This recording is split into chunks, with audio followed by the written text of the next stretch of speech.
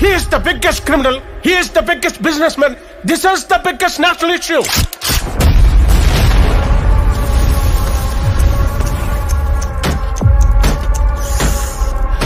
Violence, violence, violence. I don't like it. I avoid. But violence likes me. வேட்டக்காரன் வேணும். வீரராகவன்.